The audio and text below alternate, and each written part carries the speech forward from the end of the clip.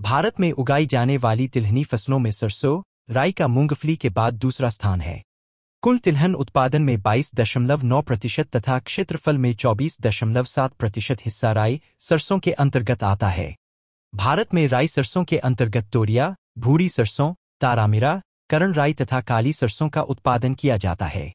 परंतु राई सरसों वर्ग की फ़सलों की कुल क्षेत्रफल का पचासी से नब्बे प्रतिशत हिस्सिया भूरी सरसों के अंतर्गत आता है। वर्ष दो शून्य शून्य आठ शून्य नौ में कुल नौ तिलहनी फ़सलों का क्षेत्र सत्ताईस दशमलव पाँच मिलियन था, जिससे उत्पादन सत्ताईस दशमलव सात दो मिलियन टन प्राप्त हुआ, जबकि 2020 तक देश की तेल की आवश्यकता हेतु कुल छियासठ दशमलव शून्य मिलियन टन तिलहन की आवश्यकता होगी।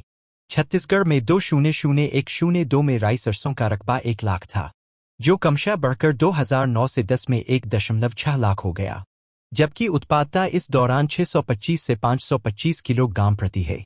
ही रहा, जो देश के अन्य राज्यों गुजरात, एक हज़ार छह सौ पैंतीस, हरियाणा तथा पंजाब, एक हज़ार एक सौ उनासी, की तुलना में लगभग आधा है। सरसों की खेती छत्तीसगढ़ के पहाड़ी क्षेत्र बस्तर एवं सरगुजा व मैदानी भाग में रायपुर, दुर्ग, राजनांदगांव, बिलासपुर एवं कवर्धा ज़िले में सफलतापूर्वक की जा रही है।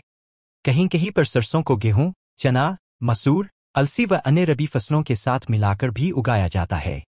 इसमें तेल की मात्रा 40 से 44 प्रतिशत होती है। इसके तेल में औषधीय गुण भी विद्यमान होते हैं। सरसों की खली भी भूमि के लिए लाभदायक है।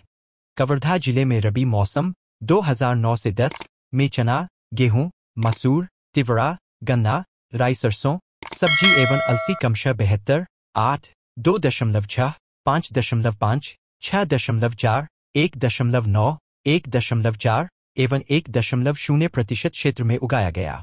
तिलहनी फ़सलों के अंतर्गत क्षेत्रफल मात्र 2,910 हेक्टेयर है जो कुल रबी क्षेत्राच्छादन का मात्र तीन प्रतिशत है। आठ तिलहनी फ़सलों का क्षेत्र एवं अधिकतम लाभप्रद उत्पादन प्राप्त करने के लिए आधुनिक कृषि तकनीकों की पूर्ण जानकारी होना आवश्यक है। खेत का चयन सरसों की खेती उत्तम जल निकास एवं उत्तम भूमि प्रबंध के साथ सभी प्रकार की भूमि में की जा सकती है। सिंचित अवस्था में डोरसा एवं बालुई दोमट भूमि का चुनाव करें। असिंचित अवस्था में भरी कन्हार जैसे काली भारी भूमि जिसमें नमी अधिक मात्रा में संचित रहती है, अधिक उपयुक्त होती है। बोने का समय, सरसों रबी की मुख्य फ़सल है, व इसके लिए शुष्क एवं ठंडी जलवायु की आवश्यकता होती है। असिंचित अवस्था में बुवाई 30 अक्टूबर से मध्य नवंबर तक पूरी कर लेना चाहिए। देर से बुवाई करने पर कीट व रोगों के प्रकोप की संभावना बढ़ जाती है। असिंचित अवस्था में यह आवश्यक है कि धान काटने के तुरंत बाद खेत की तैयारी कर सरसों की बोनी कर दें अथवा न्यूनतम जुताई कर बुवाई करें ताकि नमी की समुचित उपयोग हो सके। भूमि की तैयारी। बीज बुवाई के पूर्व भूमि की तैयारी के लिए दो तीन बार अच्छी गहरी जुताई करें व खेत को खरपतवार रहित कर मिट्टी को भुरभुरी बना लेना चाहिए ताकि भूमि में नमी भी अधिक समय तक संचित रहे व बीजों का अकुरण भी ठीक प्रकार से हो सके। बीज की मात्रा व बीज उपचार बुवाई करने हेतु शुद्ध फ़सल के लिए एक डॉट पाँच, दो की ग्रा डॉट एकड़ तथा मिश्रित फ़सल के लिए 400 ग्राम बीज एकड़ की दर से उपयोग करना चाहिए।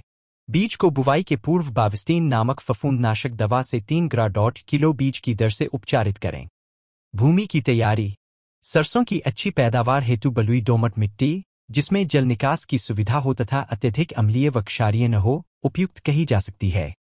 हालाँकि क्षारीय भूमि में सरसों की सही किस्म के चुनाव से अच्छी पैदावार ली जा सकती है। जहाँ ज़मीन क्षारीय हो, वहाँ प्रति तीसरे वर्ष जिप्सम 50 क्विंटल प्रति हेक्टेयर की दर से प्रयोग करना चाहिए। जिप्सम को मई या जून में ज़मीन में मिला देना चाहिए। सिंचित क्षेत्र में पहली जुताई मिट्टी पलटने वाले हल से कर तीन चार जुताइयाँ हैरों से करके पाटा लगाएँ ताकि खेत में भेले न बन सके।